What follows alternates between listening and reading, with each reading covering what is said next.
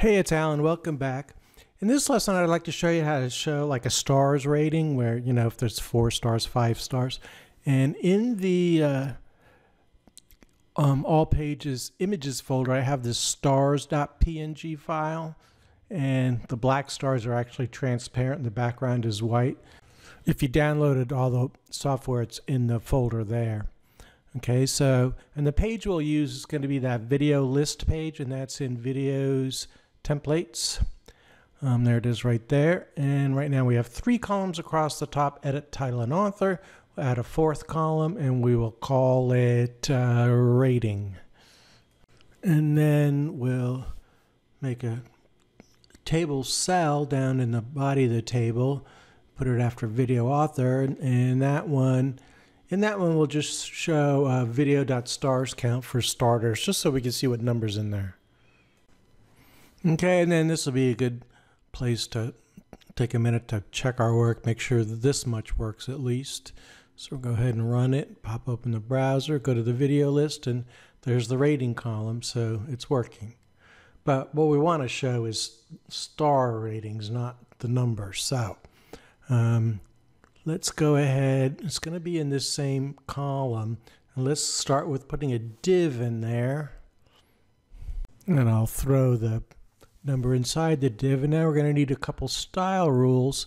This will be for the fourth column where the ratings are, and that's going to be 100 pixels wide. And we'll make it relatively positioned so we can absolutely position stuff inside there later. And then we'll do a style rule for the div itself. That will be absolutely positioned. Let's say the width is 50% for starters put it in the top left corner of the cell and uh, give it a height of 18 pixels, the height of the image. And oh yeah, let's give it a background color. In fact, I think I'll put that first, even though it could go anywhere inside the style rule. Okay, so I added two style rules.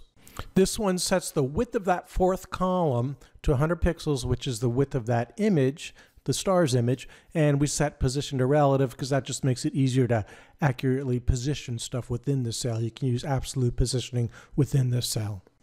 And then this one refers to the div inside that cell, and we're saying it's golden color, it's half the width of the cell, it starts in the top left corner, and it's 18 pixels tall, which is the same height as the stars image. So now would be a good time to test to see if at least that part works.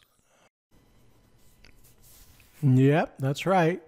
Each of the cells has a gold bar and it's about half the width of the cell, so making progress. Okay, so now each bar is half the width of its cell because we have a width of 50% specified here, but actually the width we want is going to be determined by video.stars count, so got to get rid of this width. That was just for testing. And then we're going to have to set the width inside the table cell because it's going to be different for each cell. So we have to go back down to the HTML code and this div, we have to define its width right here in the div tag so that it's unique for each row. And so we need to say specify the style within the div and it'll be a width. For now, I'll just stick with 100% so we can test it. This is a little complicated, so if you kind of work your way up to it, it's easier. So let's see if this code works. And if it looks way off, you can refresh the page or even do a hard refresh. Um, but it looks like all they're all 100% width. So now we just have to calculate the actual width. And part of that will be stars dot count because that's the number like 5.0 or 4.0. But uh, we need it to be a percent and actually 20% times whatever that number is in there. So we'll say calc, open parenthesis, 20% space, asterisk space, and then close the paren right there. And the reason it's 20% because it, like if it's the star rating is 5, then 20% times 5 is 100%. If the star rating is 4, then 20% times 4 is 80%. All right, so the width of the bar is a reflection of the rating count. And we can go take a quick look at that too. Well, their lengths do vary, so that's probably right. It'll be easier to tell once we get the stars in there. So that will be that image. And so what we need to do is put it in an image tag below the div, not inside the div. It has to be in front of that. So its source is going to be that stars image from the static folder.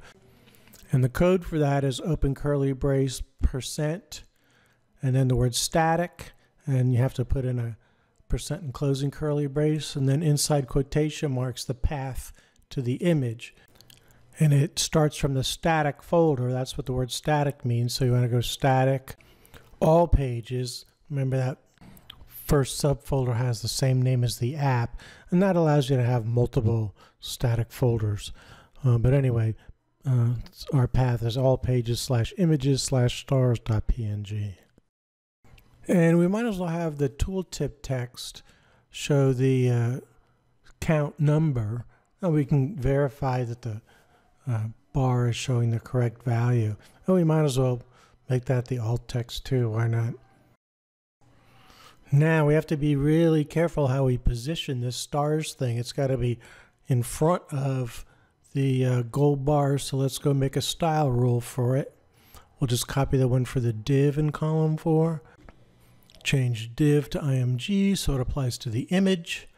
Um, oh, z-index. Let's make sure the div itself has a z-index of whatever, say 100. It just has to be less than the image. Uh, we don't need a background color on the image. The position is good. It doesn't need a height. It does need a width of 100% because each bar is a fraction of 100% or 100%. All right, and we need a z-index higher than the one above, so it's in front of the bar, so we'll just say 110. All right, let's take a look. Mm, run it in the browser and refresh and I've seen this error a few times. First clue, red text in the code, something to do with static, uh, a little higher. Did you forget to register or load this tag? As a matter of fact, that's exactly what I did. Back to the code. It's telling me now that this um, this is a problem here. It doesn't know what I mean by static, and that's because whenever a page uses that, you have to put at the top, well, not maybe the second line, not above the extends. You have to put in uh, curly braces and percent load static. One of the many things that's easy to forget to do in Django. All right, so let's run it again, get a clean start down here.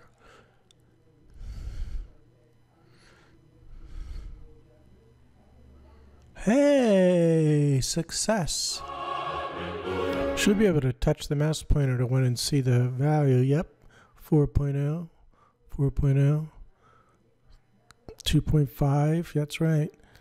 So let's edit this one. We'll change its star rating to, I don't know, one or something. And click update, and that should take us back to the list. And sure enough, one star. Alrighty. In the next lesson, we're going to talk about limiting a user's access to content based on their role within the site. All right, see you there.